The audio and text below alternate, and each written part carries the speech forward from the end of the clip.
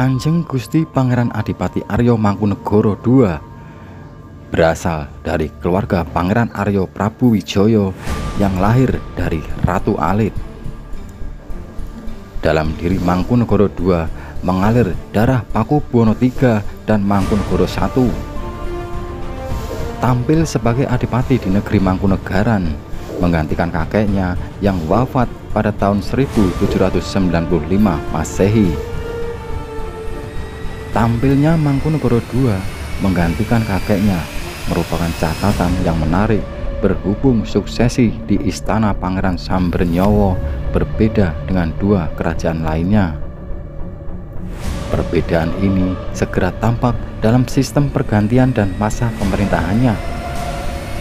Dalam masa pemerintahannya, Mangkunegara II disibukkan oleh beberapa peperangan dan perluasan wilayah sehingga dapat dikatakan tidak menghasilkan karya seni di bidang seni tari.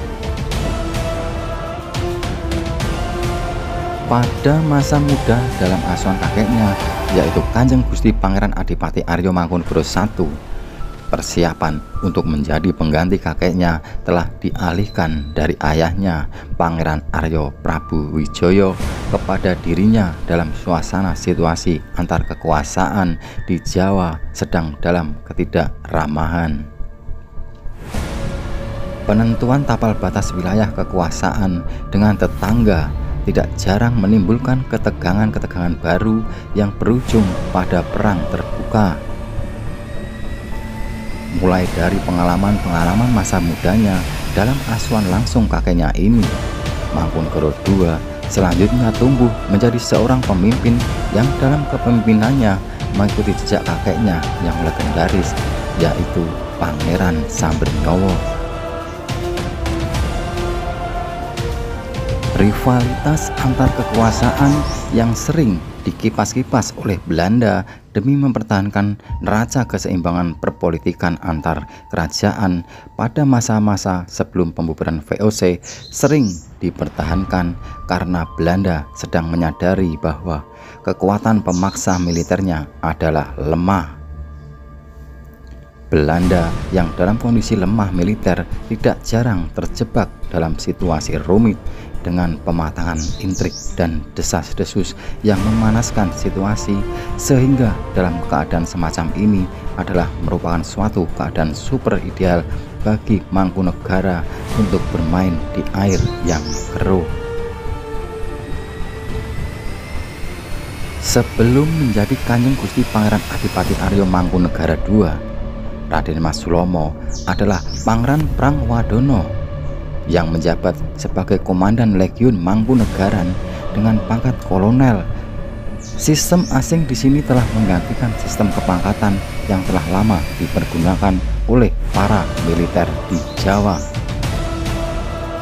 Pada zaman Daenles sebelum Raffles, kedudukan Mangkunegara sebagai Pangeran Niji ditingkatkan menjadi Pangeran Bini Sepuh atau yang dituakan.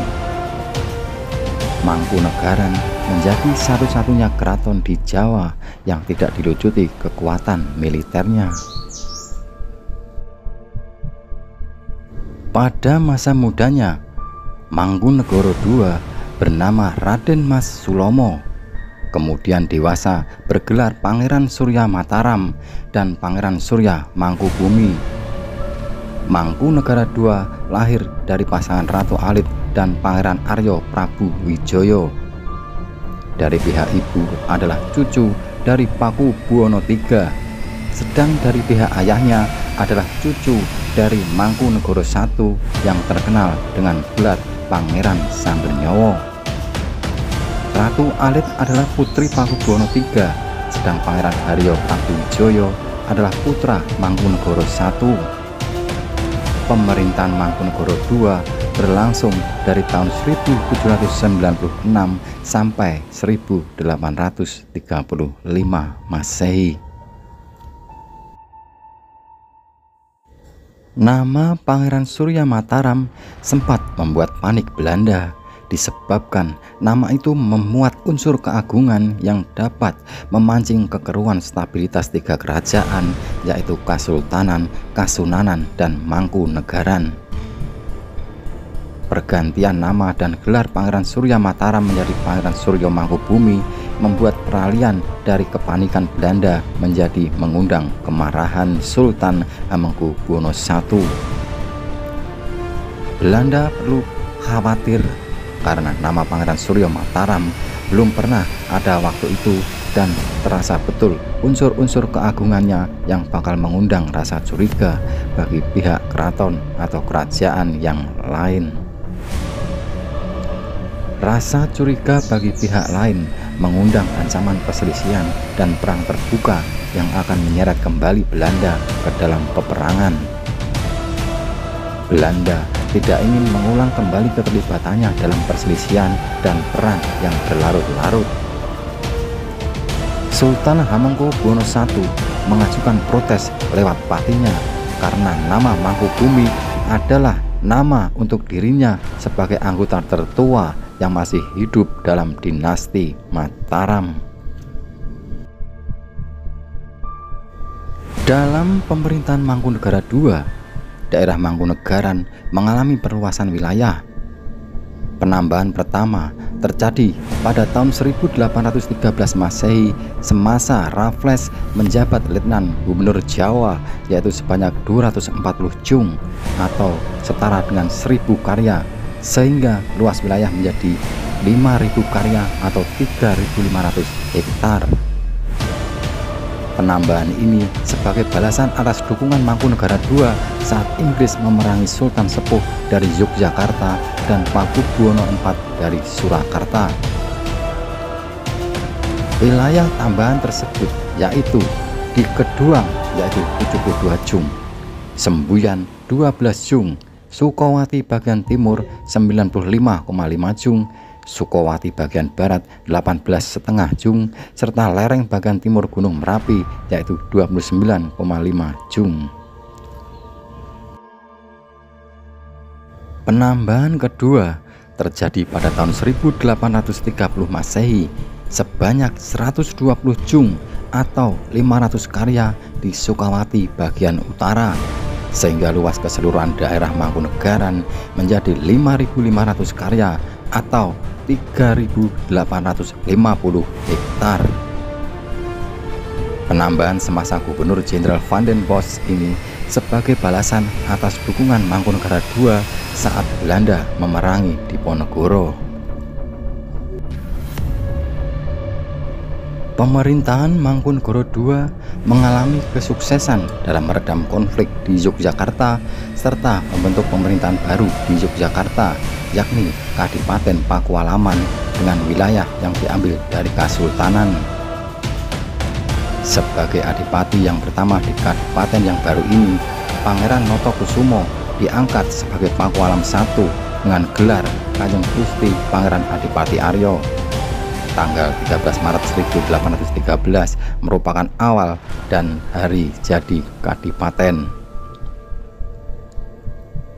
Pada masa Mangkunegoro II di Yogyakarta yang bertahta adalah Hamengkubuwono II Sultan Yogyakarta kedua ini dalam pemerintahannya mengalami intrik dan rongrongan kekuasaan dari kerabat dan saudaranya sehingga jalannya pemerintahan Kesultanan mengalami pasang surut dan penuh dengan ketegangan dan muatan konflik yang berakibat melemahnya pemerintahan.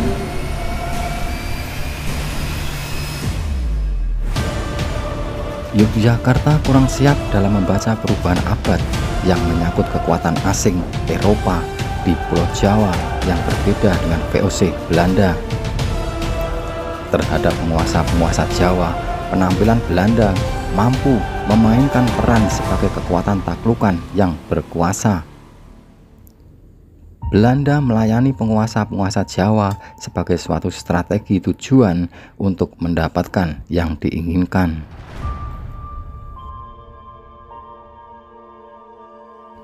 Bertambahnya satu pusat kekuasaan di Pakualaman menambah peta politik tradisional di Jawa bahwa Mataram yang terbagi dalam dinasti tetap membawa corak asli yang dipadu dengan yang baru.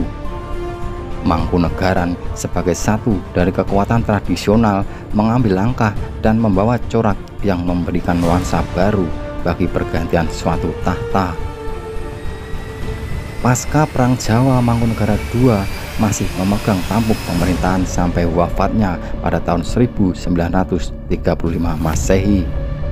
Selanjutnya, Mangkunegara II dimakamkan di Astana Mangadek di wilayah Matesih Karanganyar, satu komplek dengan kakeknya yaitu Pangeran Samber Nyowo.